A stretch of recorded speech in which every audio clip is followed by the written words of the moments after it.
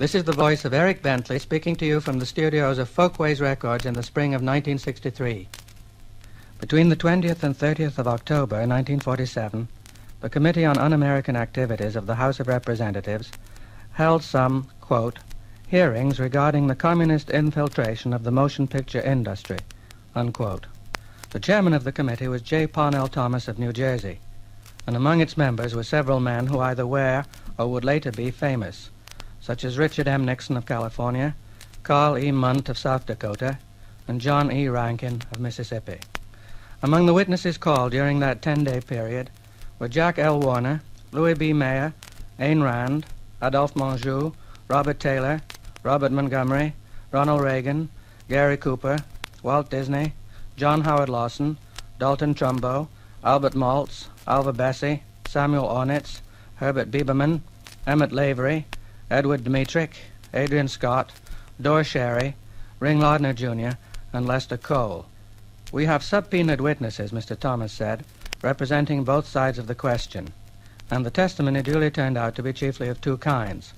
One group of witnesses spoke against communism and named persons in Hollywood whom they regarded as communists.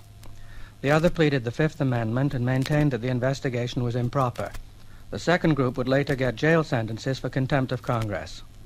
But one or two witnesses stood outside both the groups. Dore Schary is an example. Another is Emmett Lavery, who stated a social philosophy close to that of Pope John XXIII's encyclicals of the 1960s. The witness who stood furthest apart from the others was Bertolt Brecht, whose testimony you are now about to hear. The scene of this Brechtian tragicomedy is the crowded caucus room of the old House Office Building, Washington, D.C. The date is Thursday, October the 30th, 1947. Present are only three members of the committee, Parnell Thomas, John McDowell of Pennsylvania, and Richard B. Vail of Illinois. With them is Robert E. Stripling, chief investigator. Bertolt Brecht is accompanied by two attorneys, Bartley Crum and Robert W. Kenny. The voice first announcing Bertolt Brecht's name is that of Stripling. The voice asking Brecht to stand is that of Parnell Thomas. Most of the questions afterwards and throughout the session are put by Stripling. Bertolt Brecht. Mr. Brecht, will you stand, please, and raise your right hand? You solemnly swear the testimony you're about to give is the truth, the whole truth, and nothing but the truth, so help you God. Sit down, please. Mr. Brecht, will you please state your full name and present address for the record, please? Speaking to the microphone. My name is Bertolt Brecht.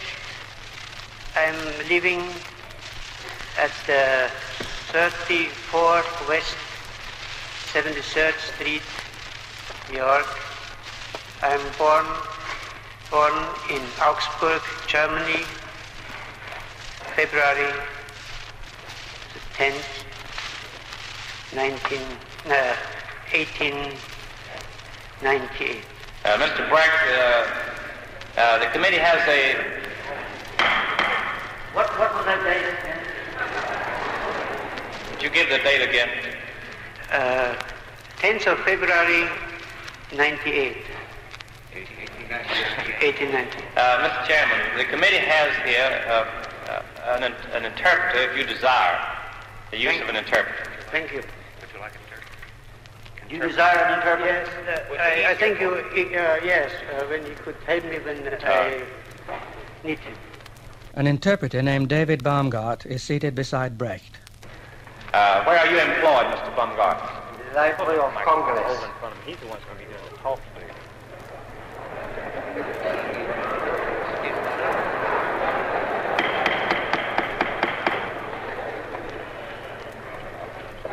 Mr. Chairman, Mr. Chairman, uh, may I read a statement in English? Yes, but has the, has the chief investigator completed his identification of both the interpreter and the witness? No, sir, I have not. Now, Mr. Brecht, will you state to the committee whether or not you are a citizen of the United States? I'm not a citizen of the United States. I have, uh, States. I have only my first papers. Uh, when did you acquire your first papers? In uh, 41, when I came into the country. Uh, when did you arrive in the United States? May I?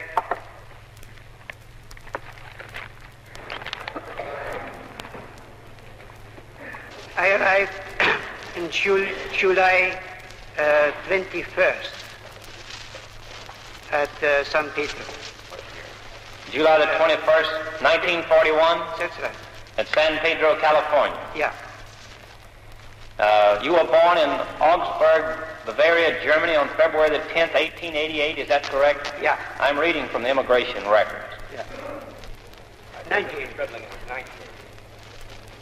Beg pardon? I think the witness said tried to say 90. Yes, I wondered if uh, whether or not the immigration records were correct in that. Or is it 98 or 98.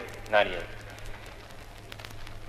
Were you issued a, a quota immigration visa by the American Vice Consul on May 3rd, 1941 at Helsinki, Finland? That's correct. You entered this country on that visa? Yeah. Where had you resided prior to going to Helsinki, Finland?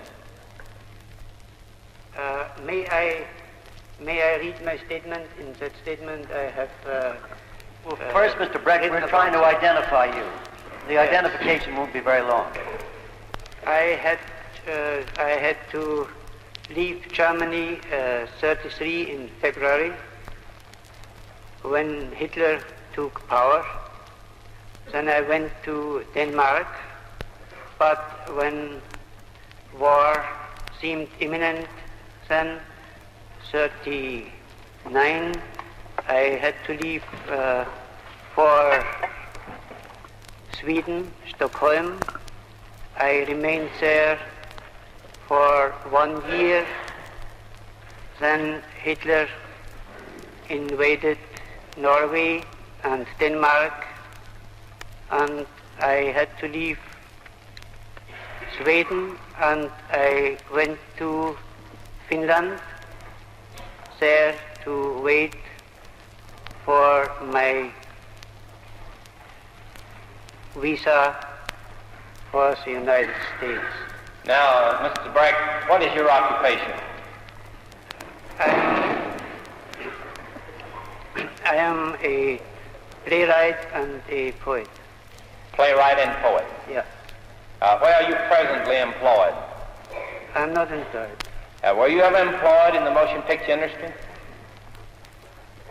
Yeah, I, yeah, I sold uh, a story to a Hollywood firm. uh, Hangmen Also Die, but I did not write the screenplay myself. I'm not a professional screenplay writer. I wrote another story for a Hollywood firm, but that uh, story was not produced. Credit for the screenplay of Hangmen Also Die went to John Wexley. Uh, the Hangmen Also Die, Uh, who did you sell that to? What studio?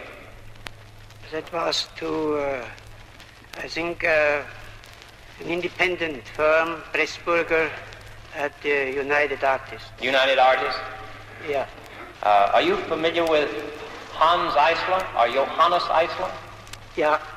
With this, it becomes clear that Bertolt Brecht's presence in Washington had less to do with American writers from Hollywood than with an even more celebrated case.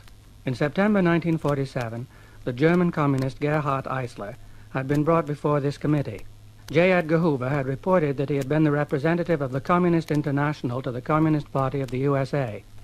Eisler's sister, Ruth Fischer, denounced him before the committee as a leading agent of the Russian secret police. I regard him as a most dangerous terrorist, she said. I consider Eisler the perfect terrorist type, conditioned to hand over to the GPU his child, his sister, his closest friend. Unquote. There followed a lengthy questioning by the committee of the composer Hanns Eisler, brother of Gerhart and Ruth. The Hanns Eisler material in the committee's printed records fills more than 200 pages. It also only narrowly missed creating the biggest national scandal since the Teapot Dome scandals, for it was made to seem possible that Mrs. Roosevelt's name was involved in conspiracy. She had had something to do with getting Hanns Eisler a visa, and Hanns Eisler had a great deal to do with the international communist movement. The published transcript is illustrated with photographs showing Eisler leading Russian children in song, Eisler giving the clenched fist salute and whatnot. One name that was bound to come up was that of Bertolt Brecht, whose words Hanns Eisler had often set to music. The committee had a complete translation made of the Brecht-Eisler oratorio, The Measures Taken, and wrote it into the record. Gerhart Eisler was convicted of contempt of Congress and of passport violations. Hanns Eisler, having been arrested, was out on bond awaiting a hearing on a deportation order. It was at this interesting point in time that Mr. Stripling put the question, how long have you known Johannes Eisler? How long have you known Johannes Eisler? I think since uh, middle of the 20s, uh, 20, 20 years or so. Have you collaborated with him on a number of works? Yeah. Uh, Mr. Brecht, are you a member of the Communist Party, or have you ever been a member of the Communist Party? May I read my statement? I'll answer this question. May I read, but may I read my statement? Uh, would you after- submit your All right. statement to the Let's chairman, hear the please?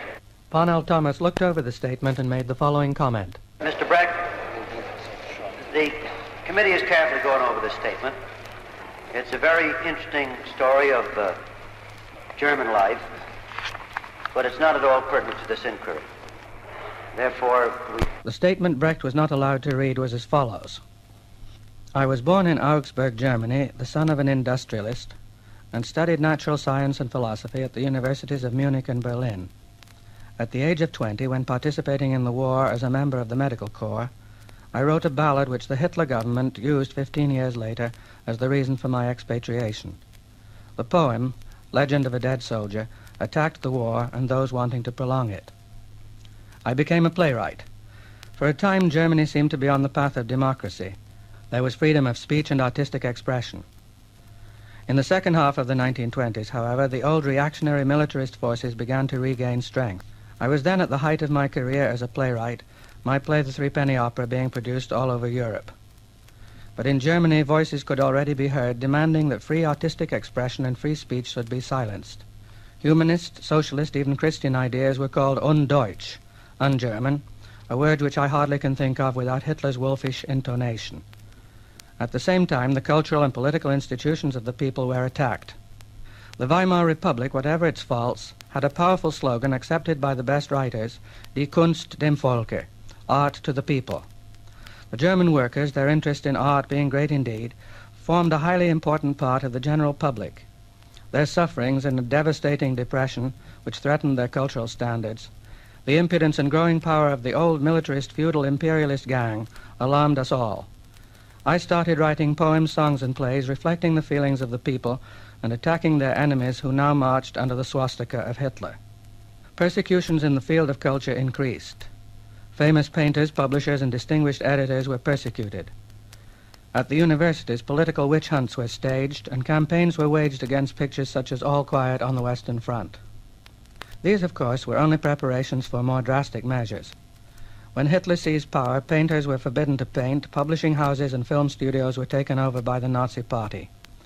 But even these strokes against the cultural life of the German people were only the beginning.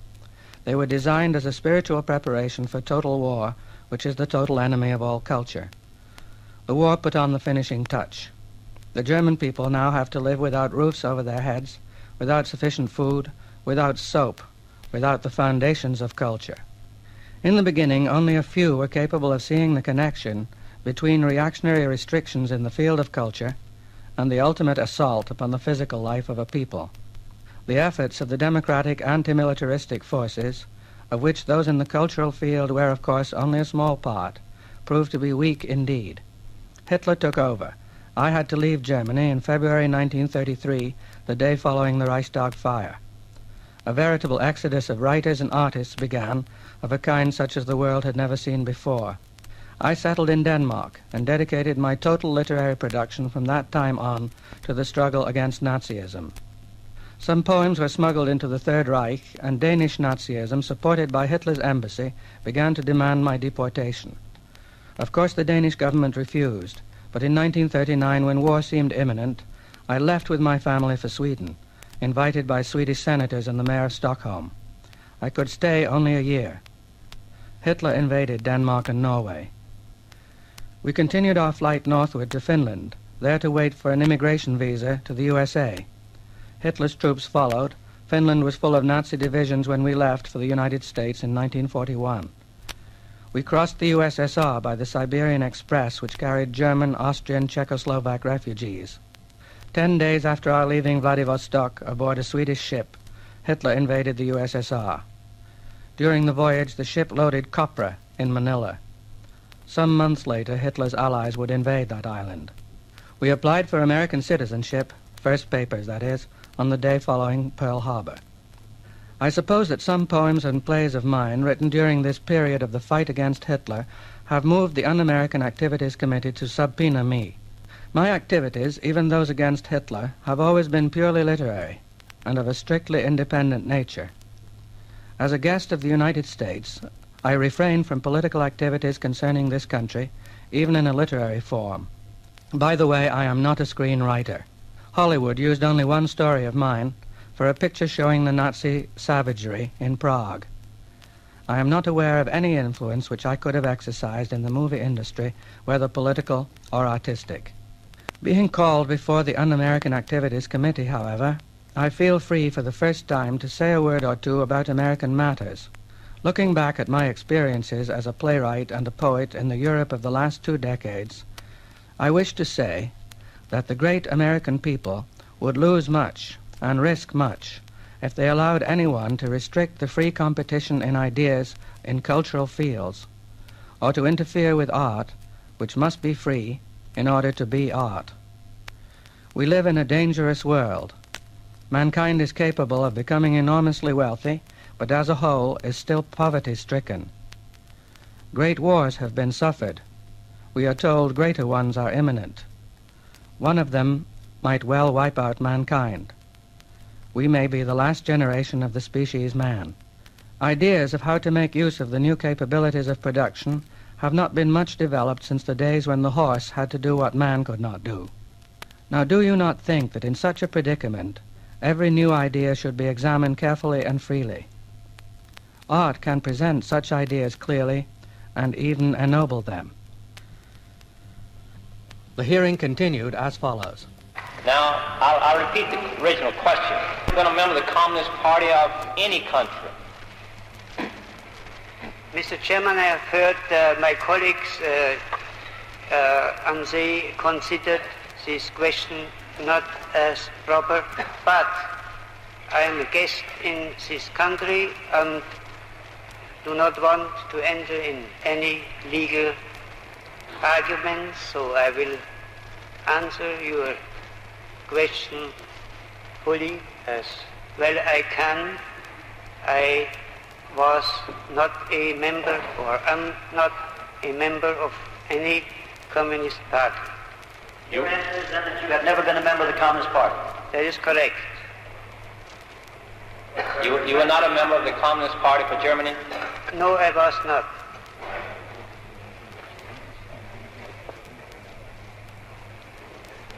Uh, Mr. Bragg, is it true that you have written a number of very revolutionary poems, plays, and other writings? I have uh, written a number of poems and songs and plays in the fight against Hitler and of course they can be considered therefore as revolutionary because I of course was for the overthrow of that government. But we're not interested in yeah. any works that he might have written uh, calling for the overthrow of Germany yes, or the government there. Uh, well, from an examination of the works which Mr. Breck has written, particularly in collaboration with Mr. Hanns Eisler, uh, he seems to be a person of international importance to the communist revolutionary movement. Now, Mr. Breck, uh, is it true, or do you know whether or not you have written articles for which have been... It's going to be another fall here pretty soon, so will you boys just Sit down quietly, please. Forward. Go ahead. have you written articles uh, which have appeared in uh, publications in the Soviet zone of Germany I within the past few months? I have no, I do not remember to have written such articles. I have not seen any of them printed. I have not written such articles just now. I write very few articles, if any. I have here, Mr. Chairman, a, a document which I'll hand to the translator and ask him to uh, to uh, identify it for the committee and to refer to an article which appears on page 72. Oh, may I speak to that, to that uh, publication? Beg pardon? May I explain this? Uh, yes, we, we will identify the publication. Oh, yes. That uh, is not an article. That is a scene out of a play I wrote in, I think, 1937 or 1938 in Denmark. The play is uh, called Private Life of the Master Race, and this scene is one of the scenes out of this play about a Jewish woman in Berlin in the year of 36 or 37. It uh, was, I see, printed in this magazine Ost und West. And in fact, the private life of the master race had been presented in New York in 45, complete with the Jewish wife scene. Uh, Mr. Translator, would you uh, tr- translate the front piece of the magazine, please? East and West contributions to cultural and political questions of the time, edited by Alfred Kantorowicz. How you spell it? K A N T O R O W I C Z. Berlin, July 1947, first uh, year of publication and price. Kantorowicz was a communist or communist sympathizer at that time. In 1956, he was to break with the communists and flee from East to West Germany. Uh, Mr. Breck, do you know the gentleman who is the editor of the publication whose name was just read? Yes, I know him from Berlin, and I met him in New York again. You know him to be a member of the Communist Party of Germany? Uh, when I met him in Germany, I think uh, he was a journalist in the Ullstein press. That is a, not a, not a communist, uh, was not communist, there were no communist organ, uh, papers. So I do not know exactly whether he was a member of the Communist Party of Germany. You don't know whether he was a member of the Communist Party or not. I don't know, no. I've no, I don't know. Uh, in 1930, uh, did you with Hanns Eisler write a play entitled D-I-E, capital M-A-S-S-N-A-H-M-E? Uh, die Maßnahme. Did you write such a play? Yes, yes. Uh, would you explain to the committee the theme of that play? What it dealt with? Yeah, I tried. Uh, first explain what the title means. Uh, die Maßnahme means Measures to be taken, steps to be taken. or Would it, measures. would, could it mean disciplinary measures? not disciplinary measures, no. it means only uh, measures to be taken. Speak into the microphone. It uh, means only uh, measures or steps to be taken. All right.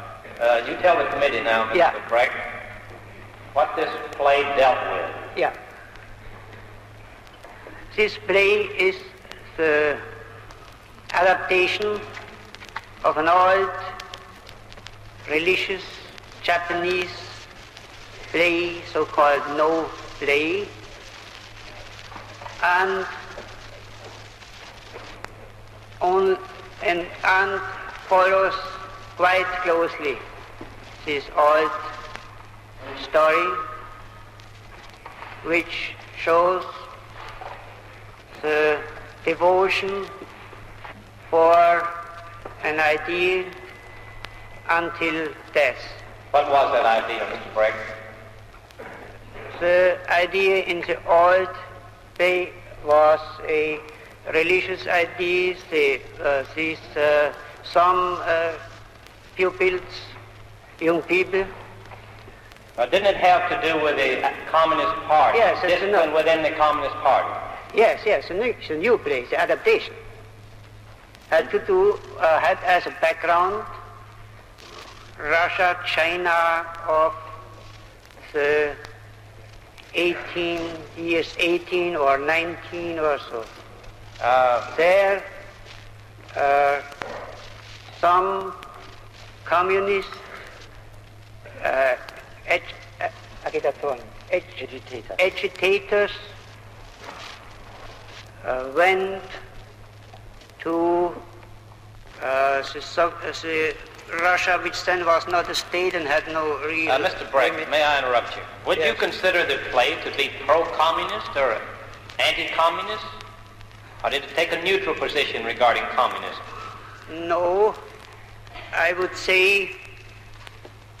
You see, uh, in lit- uh, you see, literature has the right and the duty to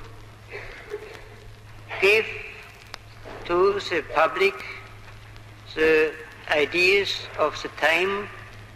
Now, in this play, of course, I wrote about 20 plays, but in this play, I tried to express the feelings and the ideas of the German workers who then fought against Hitler. I also formulated in a artistic, Fighting but in a Hitler. positive way. in- Fighting against Hitler, did you say? yeah. Written in 1930. Yeah, yeah. Oh, yeah. That uh, fight started 20, uh, 23. You say it it's, it's about China, though. Has nothing to do with Germany. No, it had nothing Let to me do read directly some of the excerpts from it. Yeah. Throughout the play, reference is made in a laudatory fashion to the teachings of Lenin, the, quote, ABC of communism, end quote, and the activities of Chinese Communist Party in general. The following are excerpts from the play. The four agitators, quote, we came from Moscow as agitators. We were to travel the city of Mukden to spread propaganda and to create in the factories the Chinese party. We were to report to party headquarters closest to the border and to requisition a guide. There in the anteroom, a young comrade came toward us and spoke of the nature of our mission. We are repeating the conversation. The, the young comrade. I am the secretary of the party headquarters, which is the last towards the border. My heart is beating for the revolution. The witnessing of wrongdoing drove me into the lines of the fighters. Man must help man. I am for freedom.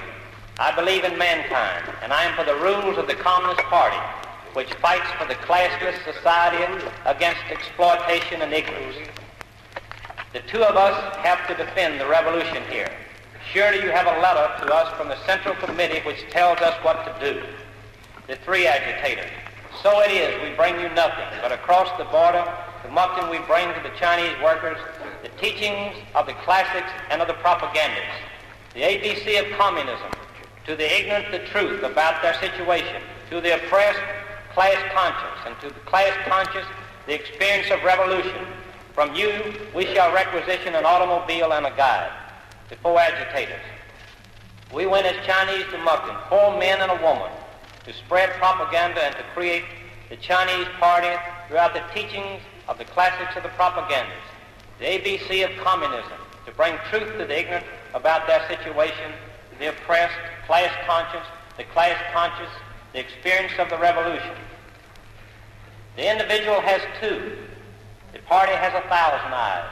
The party sees seven states. The party has many hours. The party cannot be destroyed, for it fights with the methods of the classics, which are drawn from the knowledge of reality and are destined to be changed in that the teaching spread through the masses. Who, however, is the party? It is sitting in a house with telephones, and its thoughts secrets, its resolutions unknown. Who is it? It is all of us. We are the party. You and I, all of you, all of us. In your suite, it is comrade. In your head, it thinks. Where I, wherever I live, there it is home, and wherever you are attacked, there it fights. The translation is close enough to the German. It is Mr. Stripling's way of reading it that makes it hard to follow. He says sweet for suit, class conscious for class consciousness, it is for is it, and so on. He also skips from page to page without saying so. Sometimes he doubles back without saying so. Let me refer anyone who wishes to read the measures taken properly to the full text as now published in my own collection, The Modern Theatre.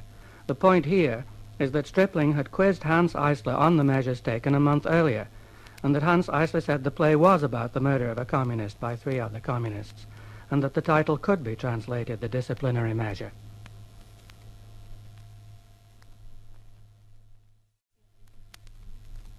Now, Mr. Breck, will you tell the committee whether or not one of the characters in this play was murdered by his comrades because it was in the best interest of the party. Is that true? Of the Communist Party? Uh, no, it is not uh, not quite. Uh, Because so he violated discipline, he was No. murdered by his comrades. Isn't that true? No, that is not uh, not really so in the play.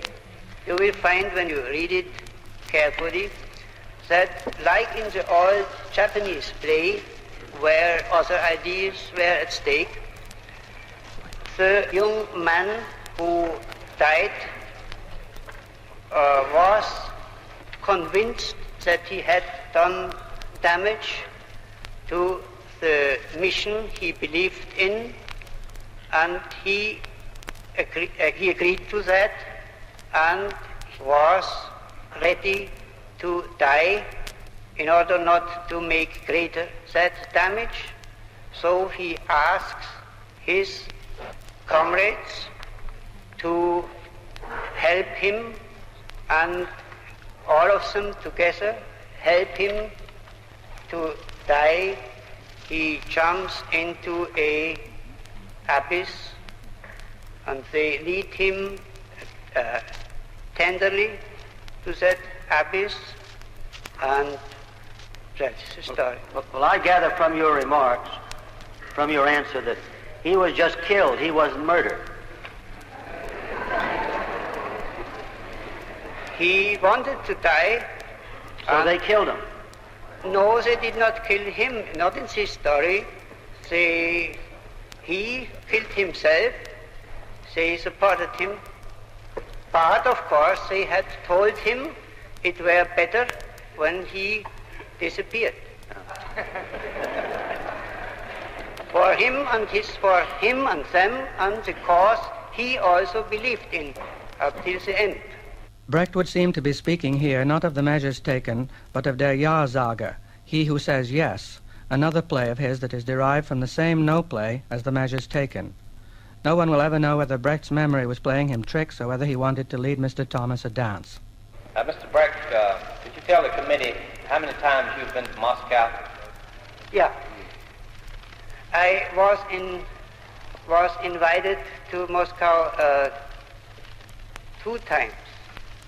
Who invited you? Uh, was uh, the first time I was invited uh, by by VOKS. That is a, a cultural. It's an organization for cul- cultural exchange. Or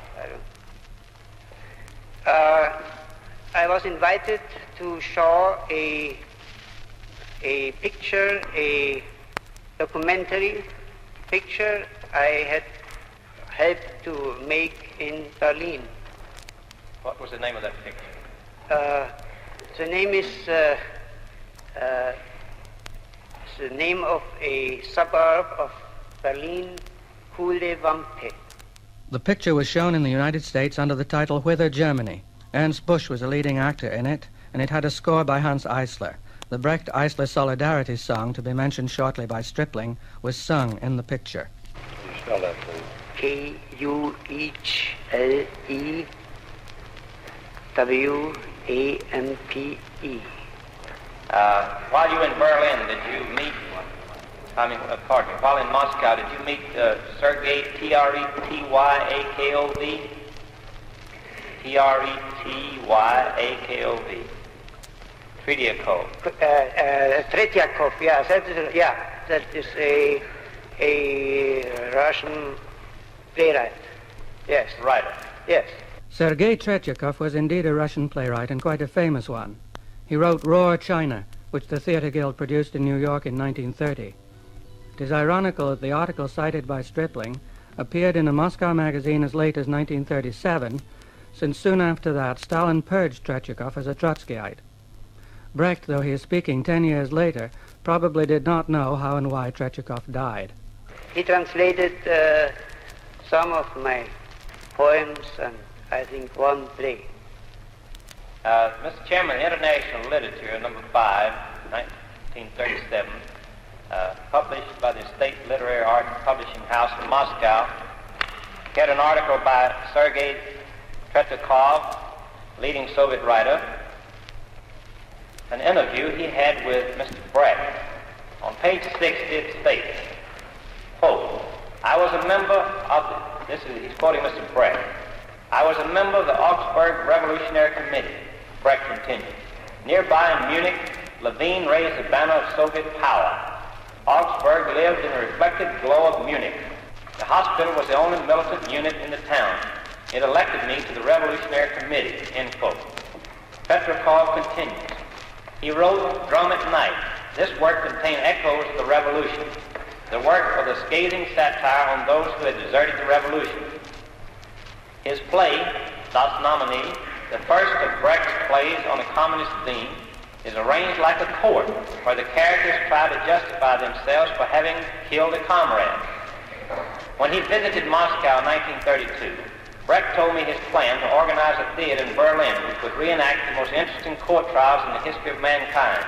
For example, the trial of Karl Marx. The story of economics brought Brecht to Marx and Lenin, whose works became an indispensable part of his library. Brecht studies and quotes Lenin, Lenin is a great thinker and is a great master of prose. According to Brecht, the theater should act upon the spectator's intellect. The traditional drama portrays the struggle of class instincts. Brecht demands that the struggle of class instincts be replaced by the struggle of social consciousness, of social conviction. He maintains that the situation must not only be felt, but explained, crystallized into the idea which will overturn the world. Brecht, the artist, has an extremely broad and varied range. He has composed many ballads, songs, and choruses on the subject of revolutionary ruthlessness. His bookshelf, however, contains books of science and action and Lenin. Do you recall that interview, Mr. Brecht? No.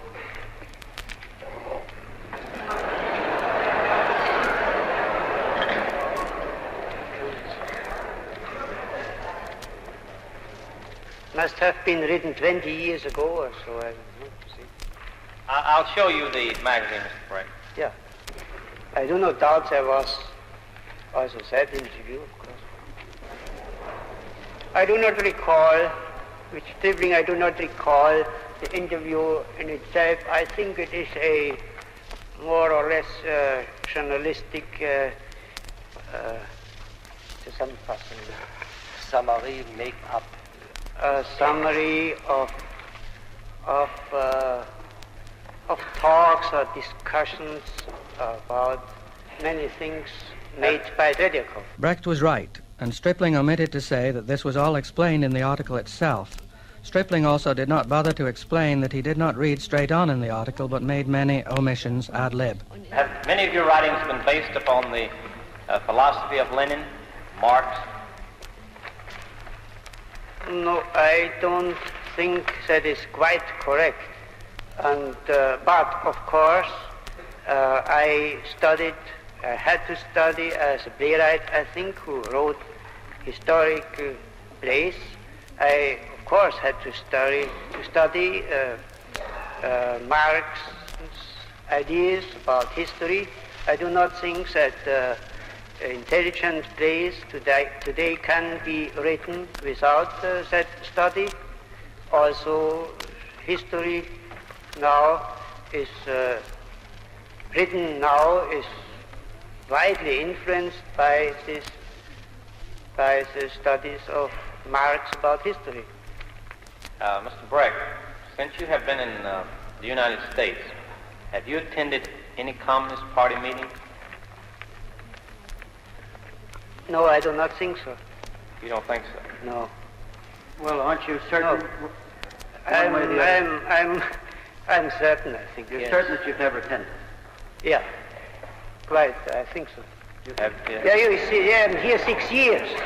I'm here six years. I do not think so. That, they do not think I attended, that I attended uh, political uh, meetings. No, no, never mind political meeting, but have you attended any communist meetings in the United States? I do not think so.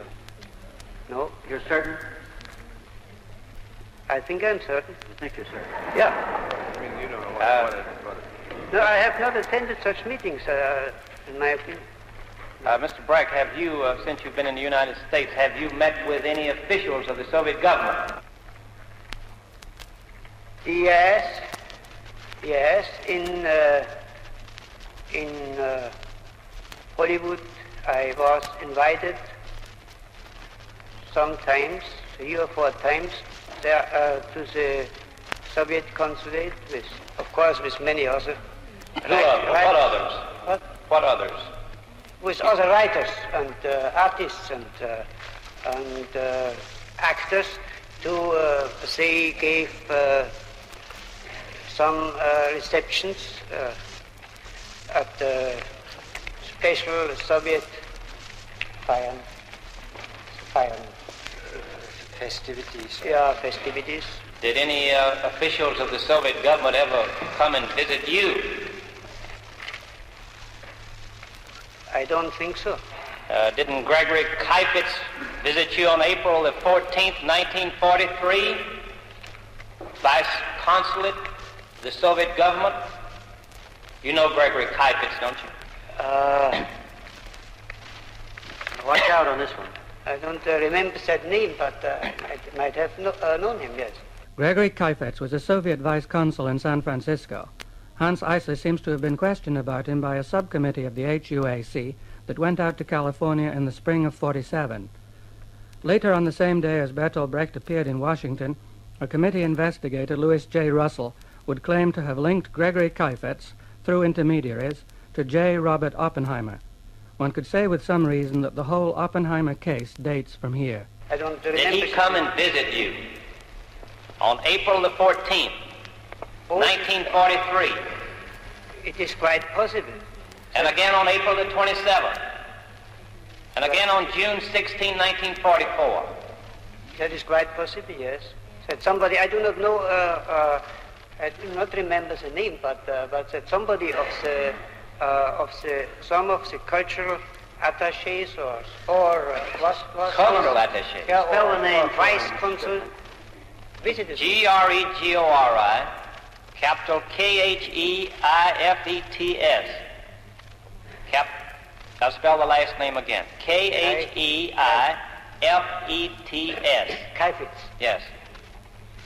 Do you remember Mr. Kheifets? I do not remember the name, but uh, but it is quite possible. Uh, but I remember dimly, dim, I remember that uh, that uh, that from the I think from the yes from the consulate from the Russian consulate uh, some people visited me. Not but not only this man, only also I think consul once, but I do not remember his name either. What was the nature of his business? Uh, he, uh, uh, it must have been uh, about uh, about uh, uh, my literary connections with uh, with uh, German writers, and uh, some of them are friends of mine. in- German writers In, yeah, in Moscow. in Moscow. Yeah. And uh, there appeared in, in the Staatsverlag in Soviet Union translations of my plays, for instance, uh, his uh, private life of the master race and Galileo and a novel, The Penny for the Poor, and poems and so. Did uh, Gerhart Eisler, Gerhart Eisler ever visit you? Not Hanns, but Gerhart. Yeah, I met Gerhart Eisler too.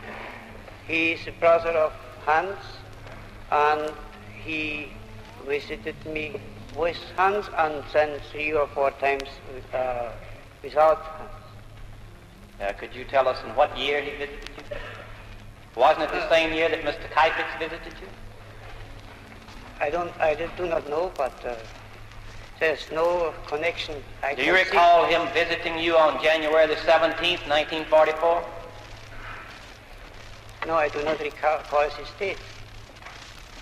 But he might have visited me, visited me on his date. Uh, where did he visit you?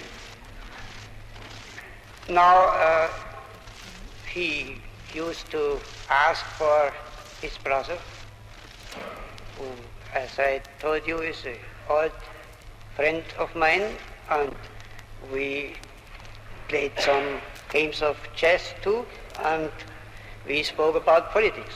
About politics. Yeah. He's What was that last answer? I didn't get the last answer. They spoke about politics. In any of your conversations with Gerhart Eisler, uh, did you discuss the German communist movement? Yeah, Germany? we, yeah, we spoke about, uh, of course, about uh, German politics. He, he's a specialist in that. He's a politician. He is a politician. So he, yeah, he knew, he of course knew very much more than I knew about the situation in Germany. Uh, Mr. Breck, can you tell the committee, uh, when you entered this country, did you make a statement to the Immigration Service concerning your past affiliations? I do not remember to have made such a statement, but I made, I think, the usual statement that I did not in, uh, want to or intend to overthrow the American government. I might have been asked whether I belonged to the Communist Party. I do not remember to have been asked, but then I would have answered what I told you, that I was not. That's what I remember. You stated, did, did they ask you whether or not you'd ever been a member of the Communist Party? I do not remember. Did they ask you whether or not you'd ever been to the Soviet Union? I think they asked me yes, and I told them. Did they question you about your writings? No, not, not as I remember, no. No, they did not. I do not remember any discussion about uh, literature in the consulate in Helsinki. Now, you stated that you sold the book, the story, Hangmen Also Died, to United Artists. Is that correct? Uh, yeah, to an independent firm in, yeah, in, yeah, Did Hanns Eisler do the background music for Hangmen Also Died? yes, he did. Uh, do you recall who starred in that picture? No, I do not. You, I, you don't even remember who played the leading role in the picture? I, I think Brian Donlevy played it. Do you remember any of the other actors or actresses who were in it? No, I do not. You see, it had not very much to do with the filmization itself. I, I saw the story and I gave then to the script writers some advice about the background of Nazis in, of uh, the Na- Nazism in uh, Czechoslovakia. So had nothing to do with the actor. Mr. Stripling, can we hurry this along? We've got a heavy schedule Yes. this. Now, uh, Mr. Breck, since you have been in the United States, have you contributed articles to the to any communist publications in the United States? I don't think so, no. Are you familiar with the magazine New Masses? No, You never heard of it? yes, of course. Did you ever contribute anything to it? No, Did they ever publish any of your works? that I do not know. They may, might have published some, po- uh, some translation of a poem, I think. but uh, I had no uh, direct connection. Uh, Nor did did you- I send them anything. I believe that Brecht's answer is truthful, Searching the new Masses files does not turn up anything by him. It seems that he sent the new Masses a letter in 1935 protesting against the theatre union's production of his play The Mother, but that the new Masses never printed the letter. In Praise of Learning, which Mr. Stripling is about to mention, is a song from The Mother, and it was often sung by itself, as for example on an American phonograph record of the 30s issued under the label Timely Recording Company, sung by the new singers with Marc Blitzstein at the piano. The line which will be debated reads in German, Du musst die Führung übernehmen, which means you must take over the leadership. The translation which Brecht is about to object to is actually rather close to the original. Did you collaborate with Hanns Eisler in song uh, In Praise of Learning? Yeah, I collaborated. I wrote that song. He only wrote the You wrote, music. you wrote the song. I wrote the song. That Would is- you, uh, would you recite to the committee the words of that song? Yeah, I would. Uh, may I point out that that song is is uh, a is uh, comes from an adaptation I made of uh, Gorky's novel The Mother. And in in this song, a Russian worker woman addresses other poor people. Uh, it was produced in this country, was it? Mr. Yes, Um, 30, 35 New York, Yes. Now I'll read the words and ask you if this is true. please. Uh, learn now the simple truth. You for whom the time has come at last. It is not too late. Learn now the ABC. It is not enough, but learn it still. Fear not. Be not downhearted. Begin. You must learn the lesson. You must be ready to take over. You No, must uh, excuse me, that is the wrong translation. Uh, uh, that is not right. Just one second, I give you the correct text. That's not a correct translation. It's not correct, no. As Well- to the meaning, it is not correct as to the meaning. It is not very beautiful, but uh, I'm not speaking What about does it that. mean? No.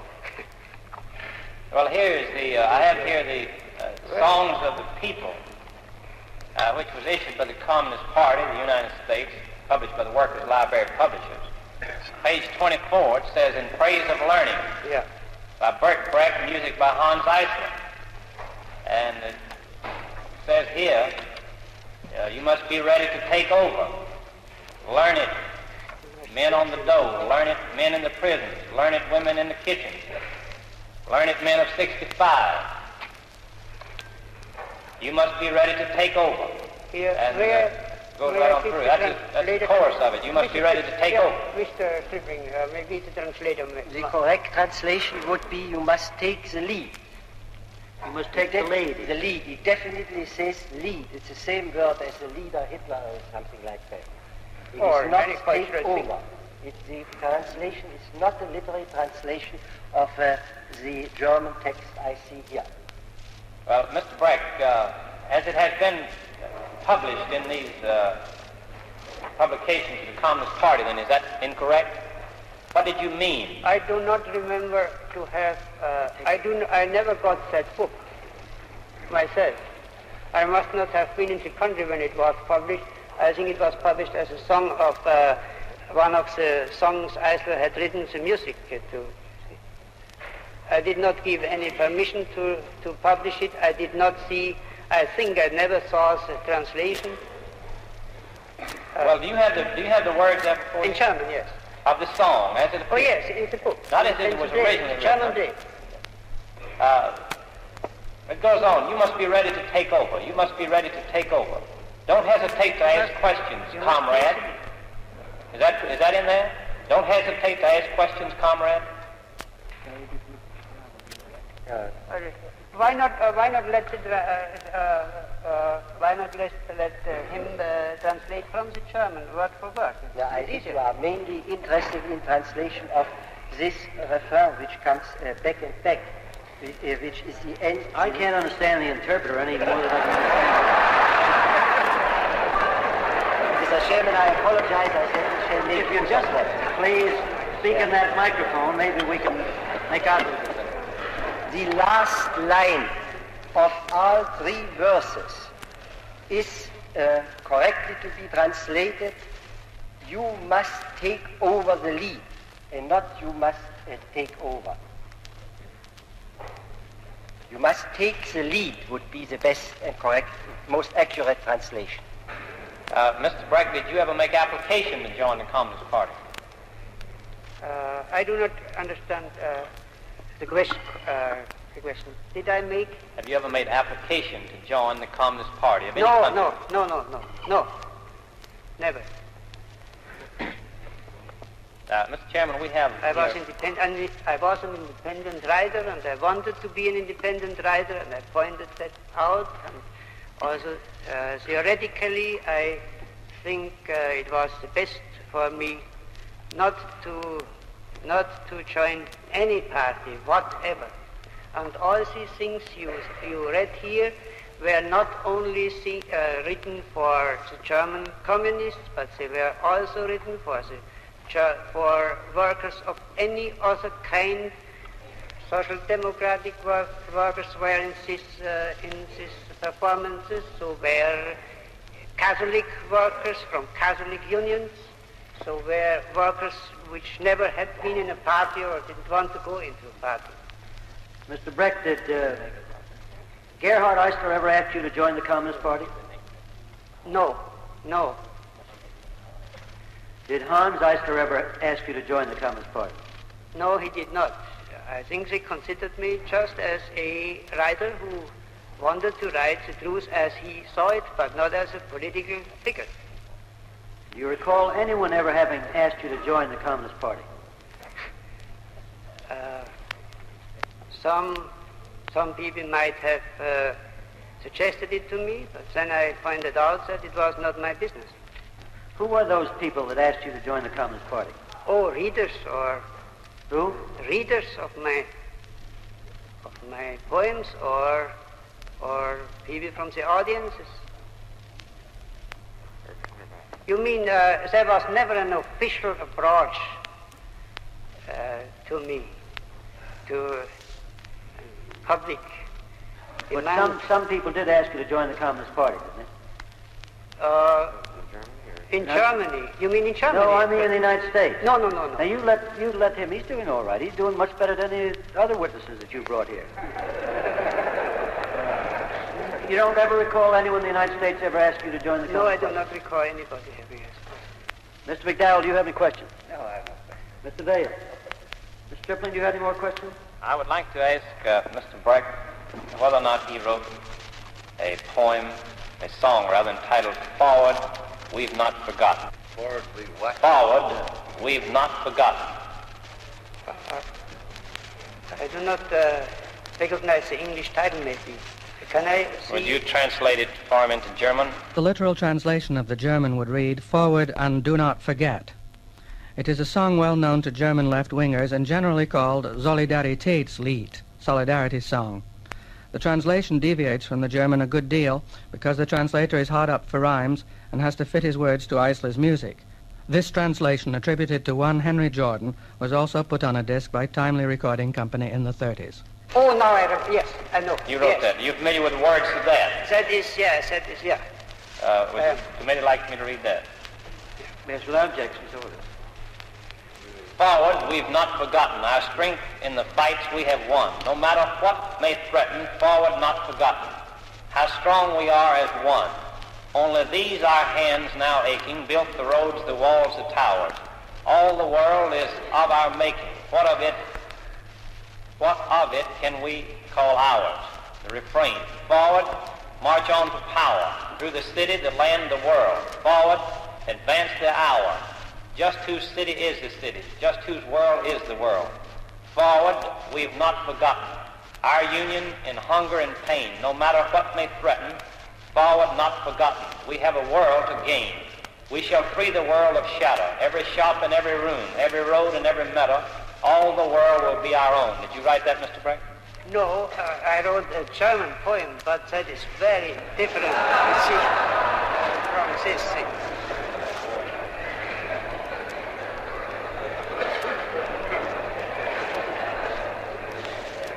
Uh, that's all the questions I have, Mr. Chairman. Thank you very much, Mr. Breck. And you're a good example to the witnesses of uh, Mr. Kenny and Mr. Crum. We'll recess until 2 o'clock this afternoon. At that, Bertolt Brecht left the room, and within a few hours he had left the United States forever.